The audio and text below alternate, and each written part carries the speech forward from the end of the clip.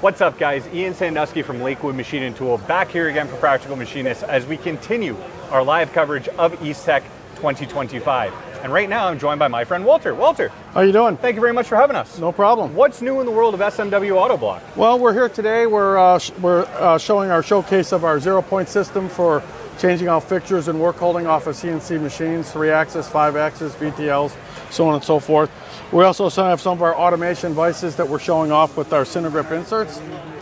Um, this equipment allows you to utilize your manufacturing technology skills and change out fixtures very rapidly and uh, get your machines up and running with more spindle time. Now, I see a lot of people really like these SinterGrip inserts. What makes them so different than anything else out there? Well, we don't have to dovetail. We don't have to crimp the part. We can take the material right from the saw and clamp it right in the SinterGrip and machine 90% of your parts sticking up in the air. 90%. 90% of your part can be up in the air being mm-hmm. machined. And when you say you don't have to stamp these, that means that those bite just with a vice twist. Like you don't need to lean on Whether using thing. a power vise or a manual vise, it, it embeds, impregnates into the part and forges a pocket, allowing you to clamp on less of the material and machine more of the material up in the up, up past the vise. And what are these red ones back here? These red ones are pocket protectors, so if you're not using a reverse jaw, you can put the pocket protectors in and stop the chips and stuff from going into your. I've always seen that and I always wondered. Yeah, a lot of people think they're smooth clamping inserts, but they're pocket protectors. And when we're talking about the zero point system, what's the repeatability on something like this? Uh, five, mic- uh, fif- five micron. Five microns. So literally you could be popping these on and off all day. Yeah, two tenths for people that use inch. Your repeatability is going to be out of this world. Yes. So if you could take a fixture on and off your machine and not have to indicate it every time, that's the key to the whole production. And I take it these are also, because I see this has, um, So these are pneumatically operated by air, but they're mechanically clamped. So we use air to open them and turbo for extra clamping space. But while they're in your machine, there's no air trapped in this mechanism, so you don't need constant air to use these. so these are also then very well set up for automation. Automation, we can do automation, manual changes, uh, CMM. You can take your part from the machine tool back into the CMM and check it without having to unclamp it. So you get high tolerance work, aerospace, mold work, that type of stuff. when you build a fixture array, you could kind of standardize all your machines. All the different models of machines could have a standard platform versus right now all your tables are different. That's what I was kind of thinking. I take it most people don't put one of these in there and call it a day. No, They're normally they have babies shop. in shops. When we, when we have put one in one machine, they go to the next machine right away.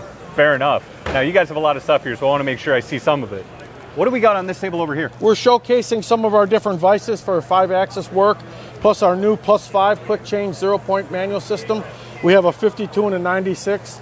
We have double clamp plates. We have all kinds of different stuff for indexers, risers, everything you can imagine for a five axis machine. And we keep adding to the catalog as we invent more stuff. And do you guys see that as kind of where SMW Autoblok is headed right now? Really heavy into the Everything is five-axis? going to multi-axis machines. I mean, the average three-axis machine is the thing of the past now. If you could do your part in two operations, then three or four, why wouldn't you buy a five-axis machine? Makes a lot of sense.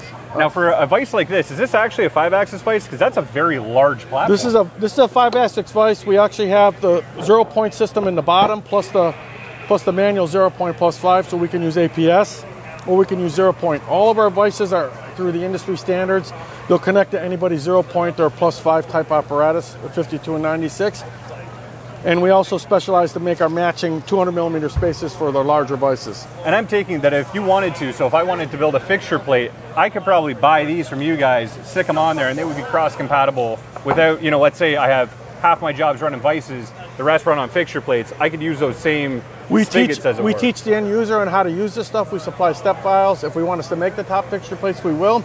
Otherwise, I can teach them how to use it in all the two positions of all of our fixtures, and they can buy pins and do their own fixtures, whether it's zero point or plus five.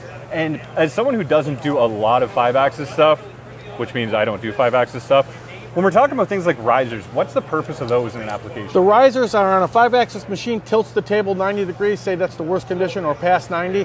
The headstock comes down, and the work holding is not too close to the table. The spindle head hits the table, and so now we have to rise it up. Not all jobs have that option. If the part's super tall and you're not tilting at 90 degrees, you can get around the part.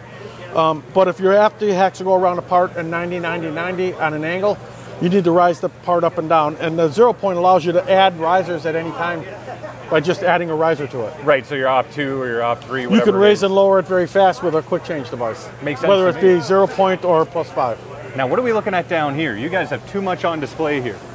And I mean that in the best way possible. Okay, this is our SinterGrip kit. This is what our salesmen carry around to explain how SinterGrip works. We have uh, different materials in here, all the different brands, uh, the inserts that we use and how they're used in our vices. If you wanted to buy these inserts and buy a cutting tool, you can make your own uh, Oh. clamping jaws in your own vice if you want to. And am I interpreting this correctly that that's at 50 to 55 Rockwell? so we can do aluminum, soft steel up to uh, eight, uh, 49 Rockwell, and then after that we use a different insert for the different hardened materials. But you can still, that's still biting so, into that. Yeah, so some stainless, some Waspaloy, uh, Inconel, they're all uh, aerospace components. They still need to have an insert that works in it. The inserts are all the same carbide grade, they just have different patterns in them. So different points where that pressure is actually being Right, how it applies to the material, because each material has a tensile strength you're dealing with. Makes sense. Correct. You've done this once or twice before, haven't Yes. you? Yes. what do we got here? So this is one of our five axis vices that have a unique pattern at the top. This is for clamping uneven parts or round parts on a five axis vise. These jaws actually come with this vise, but this is an option to buy these. These are clamping inserts. You can have a pivoting jaw Oh. and a fixed jaw, so you can clamp a round part or say like a connecting rod or a pump housing or anything that's non-conventional shape that a two jaw clamp can't handle. This can be done with two swiveling, two fixed, one in the middle, double clamp, anything like that, or a round part that comes from the lathe to put holes in it. So now you don't have to change your vise to a chuck to put a round part on your mill. Which is super handy. Yes, it saves a lot of time and setup time. And of course, you can put those same SinterGrips in with this setup. Therefore, you're biting it as hard as possible. Yes, and we have these serrated or smooth inserts that raise and lower the part, however you want to oh, use it. Oh, I see. And each one of these locations give you a different location for a different diameter. Oh, so I can pop these off and pop them into any of these yeah, these are just cover holes again to stop from just the chips. plugs. What kind of industries are you seeing really utilize this a lot? Anybody that has a five axis machine that's tired of changing out the work holding because they just have the vise bolted to the table, this does a flame cut part. This will Yeah. do a water jet cut part. It'll do an odd shape part. Um, it does all kinds of different stuff for you. Especially a flame cut, that would bite in real well. Yeah, and you can even make your own grippers and stuff for it. We've had other people do some crazy stuff. And I'm sure if you wanted to, you could run multiples on here if you have a really wonky shaped part. right. Moving down here, this is something I haven't seen before. What am I looking at that's on a chuck like this? So this is a, a two jaw TS chuck. We sell them in two jaw and three jaw, and also six jaws. This is a pull down chuck. This was developed for a special um, a part that had to be pulled down against the datum. So both these jaws rock in and pull down, and at the last minute pull it against the datum. Oh. So this is for high production, automotive, shaft work, um, making air conditioner parts, that type where it's repetitive all day long in the same machine. We make different sets of jaws for pulling down the parts and different locators. We can even put a mandrel in the middle for centralizing the part and compensate clamp on the outside depending on what version of chuck you have. So since you're pulling that down on the datum, I'm guessing that this is for work also where that length is super critical because Yes. you have a firm stop that is pulling against. Whether it's a any- center, a firm stop, a locator, air sensing, whatever you need for your automation or for mass production. This chuck is not one that you put on your machine for a job shop. This is for a dedicated part. A machine is going to run the same set of parts or a family of parts over and over again, nonstop for years. 24 hours a day. And This is our this is our steady rest. yeah, it looks like a steady rest to me. So we sell a lot of these steady rests in conjunction with the shaft jobs that we do. We have a this is our mini, so it's easier to lug around to the shows. But we go up to all the way up to a 6.5. We do cam shafts, regular shafts, following steady rest, dual steady rest, everything that compensates the chuck on a long part that may bow in the middle when you're machining it. and this here, this is probably not one that you're going to be able to buy off the shelf.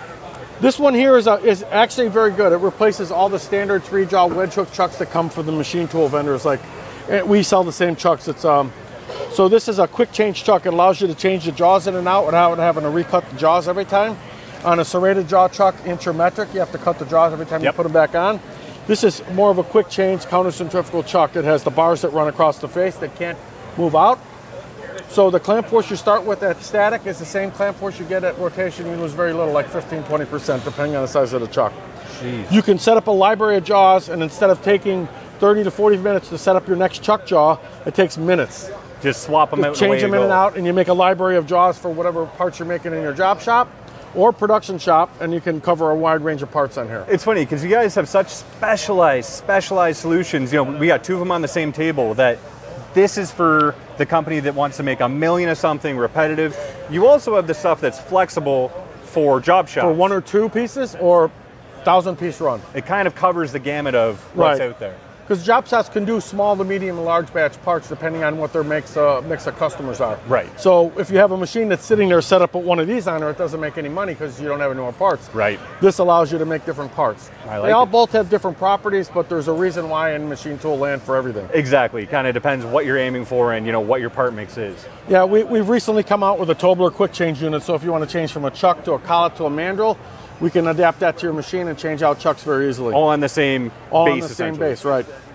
If people want to find out more about this, that, and everything we covered, where can they go? SMWAutoblok.com. And of course, you can come check them out live here at EASTEC 2025. 'cause You guys will be here all week. All the way till Thursday night till Stop in, down. ask for Walter. And of course, make sure you guys stay tuned as we continue our live coverage of EASTEC 2025. Walter, thank you very much for having us.